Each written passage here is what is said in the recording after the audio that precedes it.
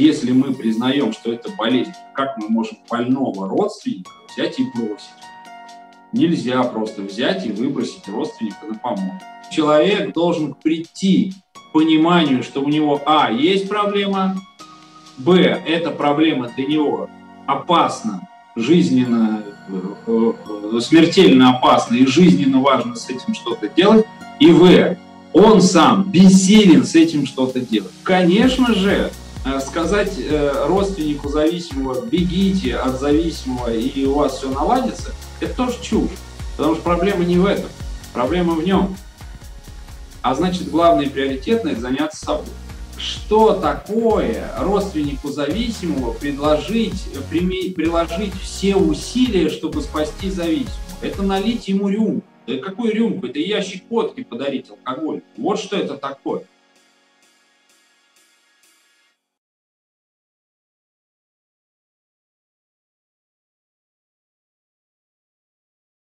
Ты сказала про нарколога, который сказал, да надо как бы от него уходить от зависимого, потому что ничего там толкового из этого не будет, тем более там какое-то насилие, вот, и никогда там ничего не изменится. И он ведь прав. Он прав, потому что действительно от этого надо уходить. И надо иметь в виду, что глупо думать, что он изменится, и из-за этого терпеть нечто, что меня разрушает. Глупо. Может, он и изменится, но глупо э, вот это навязывать, объективной реальности, навязывать свое какое-то желание. Это, это как раз приводит там, к разочарованиям, разрушениям. Поэтому в этом смысле он прав. А, то, что уйти надо, это тоже правильно. А, тут другое дело, что уйти надо от болезни. Вот. И тогда это такой более широкий спектр индивидуальных ситуаций. А, надо уйти от болезни. А как это будет выглядеть на деле, что, насколько я буду далеко от конкретно от этого человека, географически и физически, вот это как бы э, вопрос уже индивидуальный. Я буду за дверью, в соседней комнате, или в другой квартире, или в другом городе, я буду с ним в браке, или я буду с ним вне брака вот это уже все как бы индивидуально решается. Но в принципе все правильно. От него надо уйти, от этого, от, э, от этой болезни, от того, что меня разрушает, э, надо уйти. Это абсолютно верно. Э, потому что очень нездоровой является концепция, что я вот вдруг обнаружил, что э, в моем чае там я заваривал пакетики, оказалось, что в этих пакетиках стряхнин, э, но я продолжаю его пить. Она же нездоровая, да? Здесь то же самое. Я обнаружил, что есть нечто, что разрушает меня и мою жизнь. Почему я с этим должен жить? Ну, зачем мне пускать это в свою жизнь? Вот. Здесь начинаются идеи о том, что потому что я его могу спасти, а это как раз та самая идея, о которой говорил Он изменится. Да с какого? Перепугу. Ну почему так-то? С чего вдруг он изменится? Здесь э, единственный повод э, остаться, он болезненный. Он называется созависим. То есть я такая, я так буду себя вести, и я такие инструменты буду принимать, э, применять, я такие действия буду предпринимать, что я его изменю. Вот это, это созависимость. В этом нет ничего здорового, это ненормально. Вот. Полагаться на такую идею, что я вот это все придумал, я такие акафисты, не знаю, буду читать, или такие мантры буду читать, или на, да, на, отнесу водку к бабушке, она ее заговорит, вот, э, или там буду такие таблетки ему подсыпать, что значит вот, он изменится, ну или так себя буду вести, что он изменится. Это все нездоровые идеи.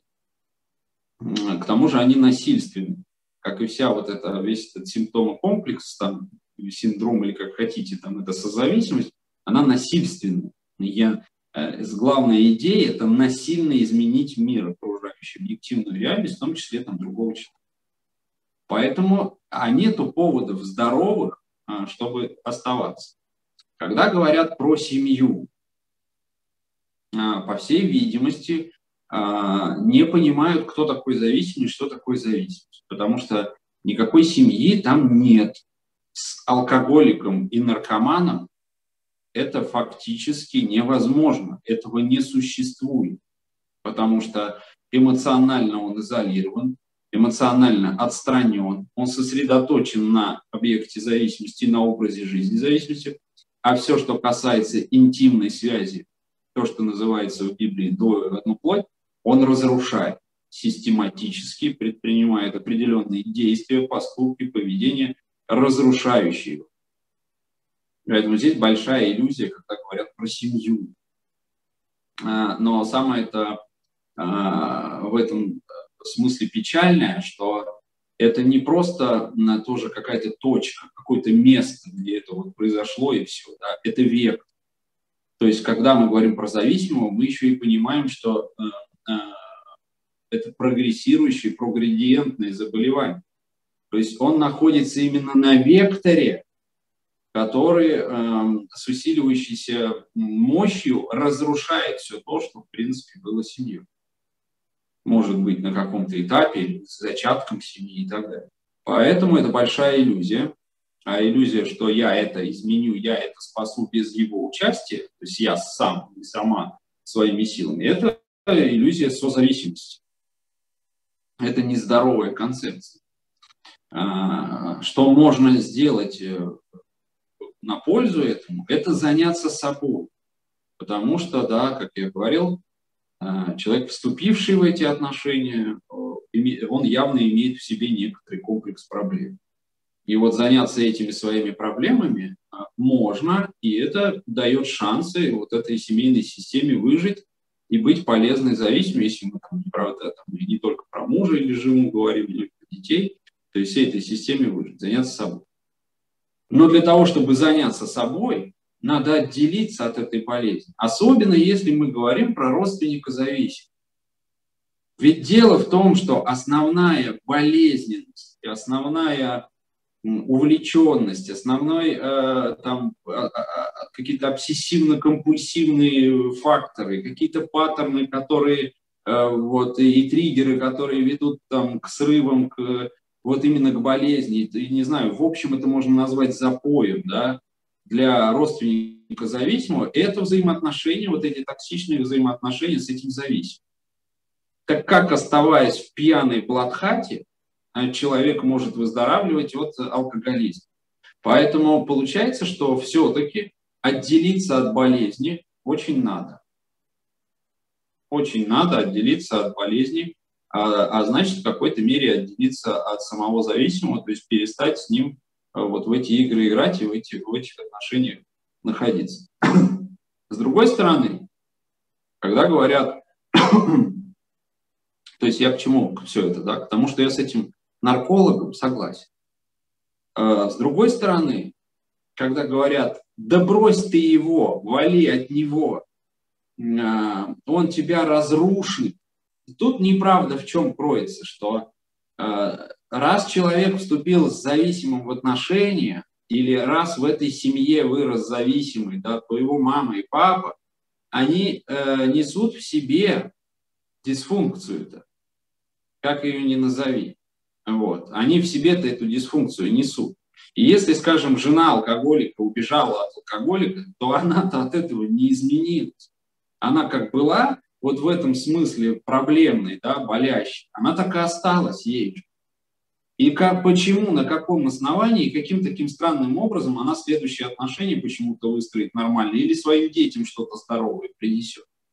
Ну, вся практика показывает, что нет, не принесет. И нет, не вступит в нормальные отношения. И вообще ничего нормального с ней практически не будет. Хотя я встречал людей, которые разрывали отношения, и потом мне говорили, слушайте, вот мне как бы это все уже вообще не надо. Я 10 лет как бы назад разорвала а эти отношения, и слава богу, я теперь такая счастливая, я реализовалась, то все. И бах, оп, оказалась э, внутривенным наркоманом в отношениях. Ой, как так получилось-то? Это что ж такое случилось-то?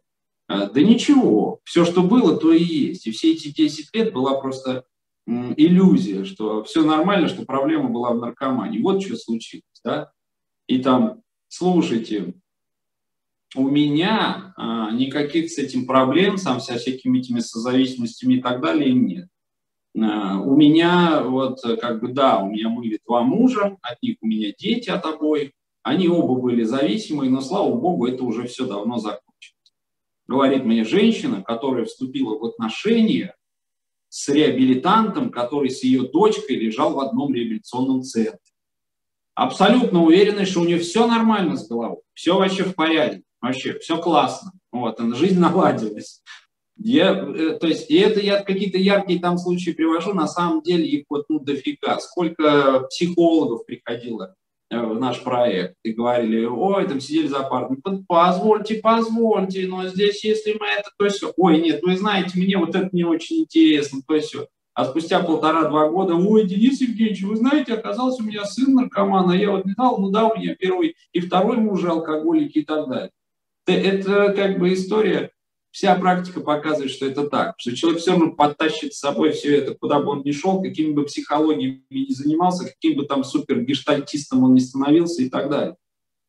Вот. Поэтому, конечно же, э, сказать э, родственнику зависимого, бегите от зависимого и у вас все наладится, это тоже чушь. Потому что проблема не в этом, проблема в нем. А значит, главное и приоритетное – заняться собой. Те, кто говорят, что какое там нафиг дно, э, что значит ждать там его дна, вот, или там что значит бросить его и убежать от него, так же нельзя, вот, э, надо помогать. Они тоже правы, потому что это же правильно. Мы признаем, что у человека болезнь, синдром, не там, не как про созависимость, да, там вроде болезнь, может не болезнь, там чего-то туда-сюда, а уж тут вообще как бы факт понятный, да. Больше того, болезнь, которую он не приобрел от того, что стал бухать или наркотики употреблять. Болезнь, не связанная со слабохарактерностью и слабовольностью, а настоящий синдром, который вызван патологиями мозга, вот, перед которой человек был бессилен даже перед развитием симптоматики этой болезни, во многом тоже был бессилен и бессилен с ней справиться. То есть даже поняв и приняв, что у него болезнь, он бессилен а, с этой болезнью своими силами справиться. Но так если мы признаем, что это болезнь, как мы можем больного родственника взять и бросить?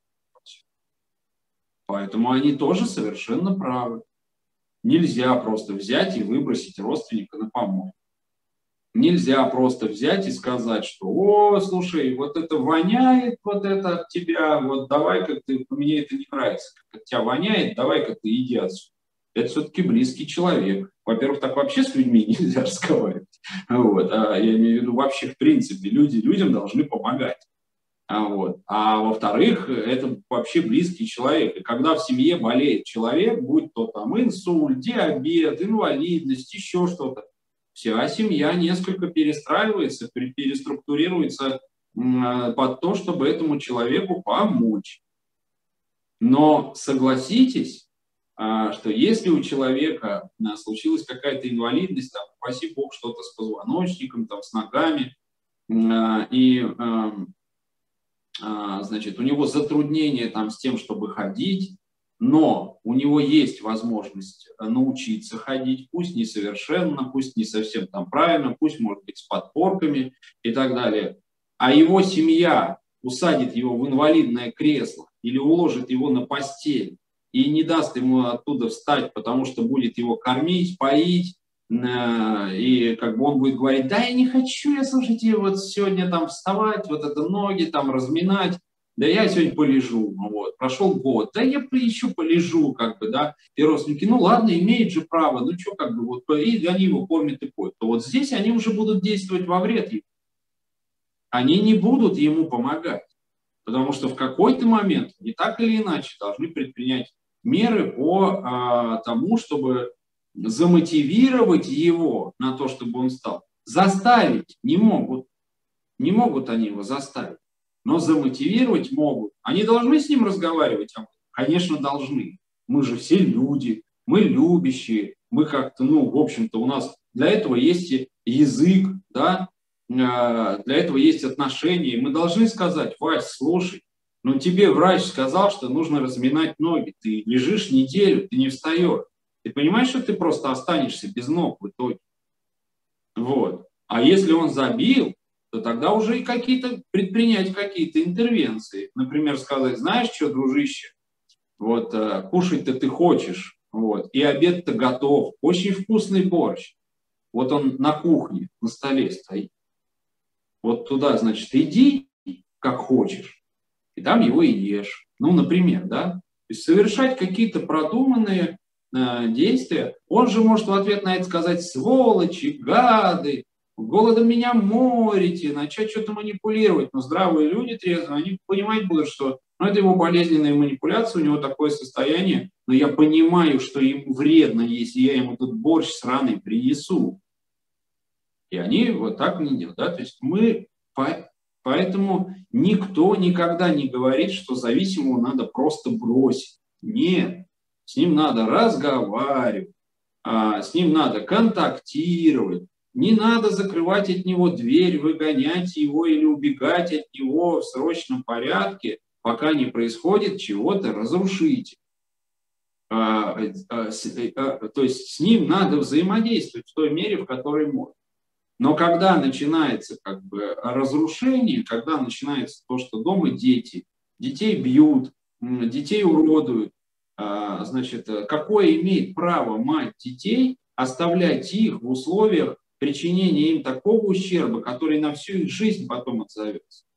Какое она даже имеет право разрушать себя, если он ударил, побил.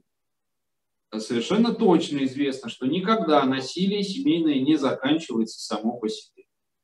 Как бы он ни обещал то все, но если этот человек не выздоравливающий, то оно повторится и будет повторяться, и будет нарастать. Совершенно понятно. Поэтому муж ударил жену, там, избил жену, ей, например, можно совершенно смело и однозначно сказать, нехер там делать в этом месте, в этих отношениях. Уходи оттуда. Можно вполне сказать. Вот. Ну, лучше не брать на себя ответственность за ее жизнь и не так сказать, да? а подвести ее к этому, чтобы она приняла такое решение. Но это вполне нормально. То есть вот здесь есть вот эта вещь. Когда начинается мое присутствие а, там, в этих отношениях, разрушает меня. Одно дело, когда это задача. Человек с болезнью какой-то, находящийся у меня дома, это мой духовный рост. Я могу служить человеку. Я могу налаживать, учиться отношения с тем, с кем тяжело налаживать отношения.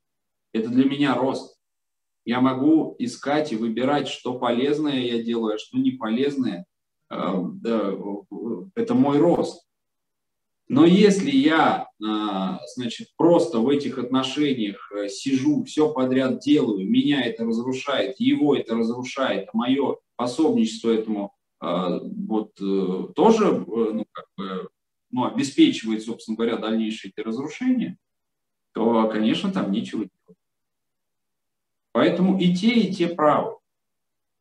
С одной стороны, абсолютно понятно, что э, близким, родным надо помогать, людям вообще надо помогать, и э, зависимому в том числе э, нужно помогать. Нужно быть готовым помочь, и его нужно любить, а не выбрасывать на помочь. С другой стороны, совершенно понятно, что если происходит за мой счет разрушение его и мои разрушения, то из этих отношений надо уходить.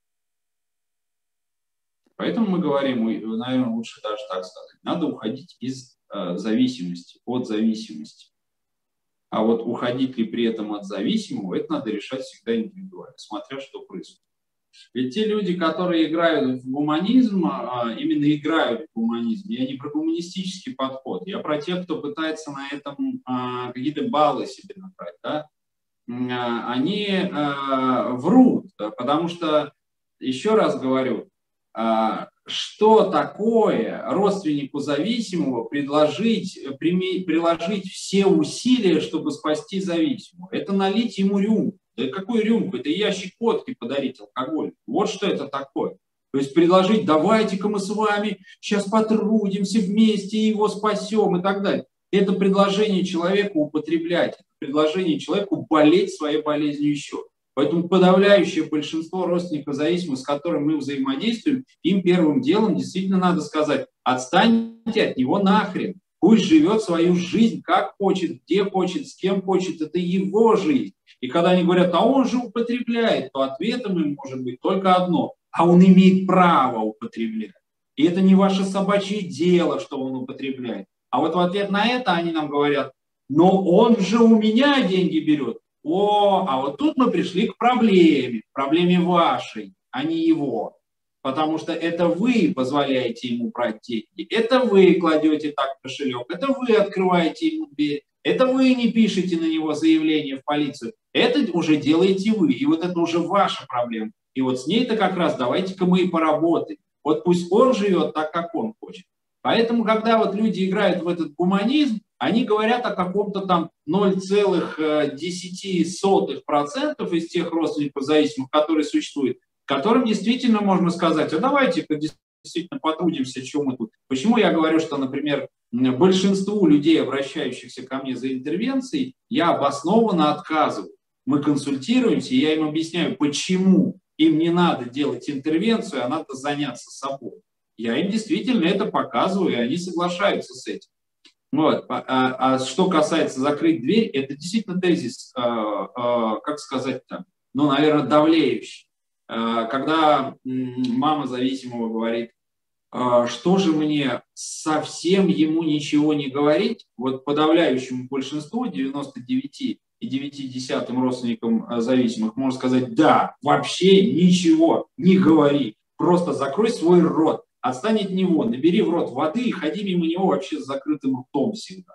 Но ну, подавляющему большинству действительно вот такая рекомендация, она лучше всего. И когда они говорят, а если я, вот он же может там погибнуть, им действительно надо говорить, что да отстань, слушай. Они, например, вот говорят многие, да, что же это получается, вы вот здесь рекомендуете, значит, отказаться от всякого воздействия на него, что же я тогда стану такая равнодушная? Я им обычно говорю, ой, не бойтесь, слушайте, вам до того, чтобы стать равнодушной, как до Китая еще, чесать и чесать. Вы тут э, пока научитесь хоть немного, хотя бы там 10% из своей головы мысли о нем убирать, вот, и думайте себе, пройдут годы, вот, поэтому, знаете, уж вы-то можете не бояться стать равнодушным, вам бы перестать постоянно залезать внутрь него и заглядывать, что там у него происходит.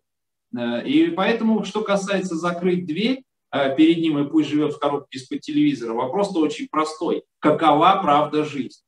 Ему 34 года, э, он не хочет работать, он живет у нас дома и жрет из нашего холодильника и спит на нашем диване. Вот это все надо убрать нахрен из его жизни, чтобы он, может быть, ну, получил шанс выжить. Потому что вот это все, это яд в его жизни. Прямо настоящая смерть. Вы сыпите ему стряхнин в еду каждый день. Убирайте это. И это, да, это очень частая история, что вот в такой ситуации совершенно точно можно сказать, да, закройте дверь. После чего закройте дверь? После того, как сядете, накройте стол, нальете чаю, поставите плюшки, попьете с сыном чай и скажете, Вася, у тебя есть болезнь зависимости, ты можешь думать на этот счет все, что хочешь, а, но мы уверены, что у тебя это болезнь. Вот. Мы не собираемся с тобой на эту тему спорить, не собираемся тебя заставлять что-то делать, не собираемся требовать от тебя, чтобы ты поменял свой образ жизни, чтобы ты перестал употреблять, там, брать или еще что-то. Это твое право, ты этим можешь заниматься, но а, не за наш счет. Поэтому э, с сегодняшнего дня дверь нашего дома для тебя закрыта. Э, и ты должен понимать и знать, что мы готовы тебе оказать помощь в реабилитации э, от вот этой проблемы. Когда вопрос, и если ты поставишь вопрос, что ты готов решать проблему зависимости, пройти лечение, реабилитацию, вот, тогда мы готовы оказать тебе в этом всемирную поддержку. А во всем остальном до свидания. Вот как это делается. И, и, и в таких ситуациях, когда полностью за их счет разрушает себя, да, закрыть дверь, пусть живет в коробке из-под телевизора.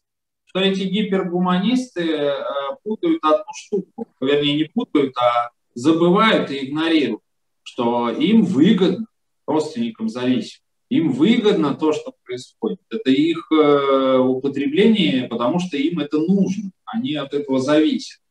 Вот, поэтому э, сказать такому человеку, предложить, раз уж он ко мне обратился, раз уж мое экспертное мнение этого человека интересует, то сказать такому человеку прекрати употреблять, э, вполне нормальная как бы для начала работа, да, а не сказать, ой, слушай, мы, я, я такие способы употребления знаю, они гораздо интереснее, чем ты пробовал, да, давай мы еще вот так попробуем, вот так попробуем. Ну, если говорить там про жену, которая хочет спасти мужа. Это же, по сути, люди, э, которые э, что, что, что, заместительную терапию предлагают, да, то есть зависимым мы предложим метадон с морфием, а, значит, а родственникам зависимых мы предложим, как интерес, поинтереснее управлять жизнью их зависимых. Так получается. И жена, если ее один раз избил муж, ей просто надо уходить из этих отношений. Абсолютно. Если там совершенно понятно, что человек там э, больной зависимостью, человек ее избил, все. Никаких здесь дальше не может быть игр. И когда Э, э, физически, географически э, человек отделился, начал отделяться уже в эмоциональном смысле, и если в этот момент зависимый обращается за помощью, то, конечно, можно и нужно помочь. Конечно, всем, чем можно. А если есть какой-то вариант с реабилитацией, то, конечно, можно и нужно сказать, слушай, я тебя люблю, я хотела бы, чтобы ты э, начал выздоравливать, меняться. Вот. Поэтому я очень поддержу тебя в э, варианте прохождения реабилитации, решай этот вопрос, есть, проходи реабилитацию. И когда ты ее пройдешь, мы вернемся к разговору о нашей Я сама занимаюсь сейчас своими проблемами, своим выздоровлением. И очень хотела бы, чтобы ты занимался. Ты пройдешь реабилитацию, мы вернемся к вопросу о наших взаимоотношениях, а во время прохождения твоей реабилитации я готова тоже в эту программу включиться и там поработать, там, что с консультантом, с которым надо, там, с психологом и так далее. Вот это была бы поддержка. Вот. А если он говорит, я твердо решил, что я брошу пить, ну хорошо, вот бросай пить, и спустя год э, трезвости приходи и будем разговаривать. А не так, что, ой, наконец-то, он решил бросить пить. Надо поддержать это его замечательное и смелое решение. И сразу с детьми обратно, хоп, туда в квартиру. Что тебе, блины, борщ, где, что, как, носки постирать, то все. Вот это абсолютно не, это не помощь. Это не помощь. Помощь в том, чтобы он каждый день, просыпаясь, помнил о последствиях своего употребления. Просыпается один в постели. Ага. Последствия употребления просыпается не одних чистых носов. Ага, последствия употребления. И так далее. Потому что это его э, трудный путь к выздоровлению, с которого в любой момент хочется скатиться. Нужны тысячи сигналов, напоминающие о том, что, э, дружище, не надо скатываться. Твоя жизнь, она вот-вот должна была рухнуть, и у тебя сейчас шанс есть ее восстановить. У него и так слишком много трудностей и соблазнов. И в этом смысле появление обратно всех родственников возвращение всех отношений обратно является абсолютным, э, ну, просто провоцирующим фактом на срыв. Когда мы говорим, что зависимый должен достигнуть дна, и родственник зависимый должен достигнуть дна, мы не говорим, что он должен валяться там на улице или где-то. Мы говорим о том, что человек должен прийти к пониманию, что у него, а, есть проблема, б, эта проблема для него опасна, жизненно, э, э, смертельно опасно и жизненно важно с этим что-то делать, и В, он сам бессилен с этим что-то делать. Вот эти три тезиса, вот эти три факта, когда в его жизнь приходит, вот это называется дно, мотивационный кризис. И когда мы говорим человеку, нужно достигнуть дна, мы имеем в виду только это, что человек должен вот эти три факта признать. А как это будет выглядеть на практике, абсолютно непонятно. Мы не говорим никого бросать, не говорим никому докатываться до чего-то ужасного.